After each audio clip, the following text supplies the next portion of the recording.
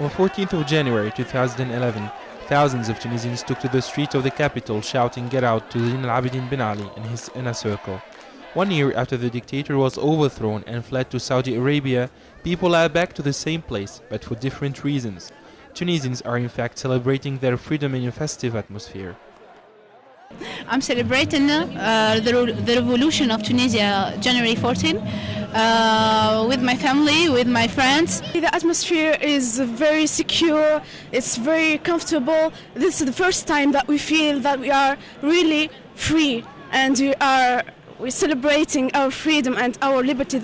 Some people explained that the revolution isn't over yet and called for unity in the political scene. Many objectives of the revolution are not fulfilled yet.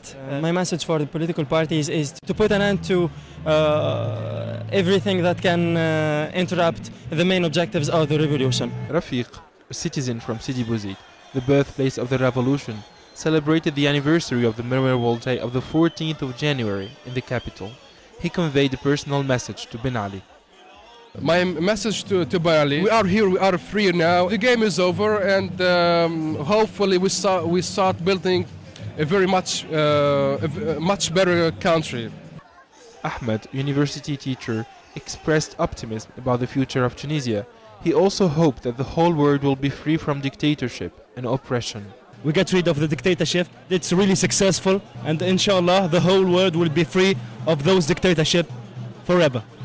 Thousands of Tunisian people are celebrating the first anniversary of the revolution in different parts of the country.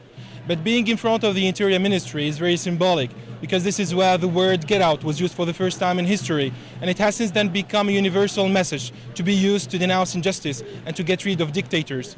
Adnen Chaouachi, Press TV, Tunis.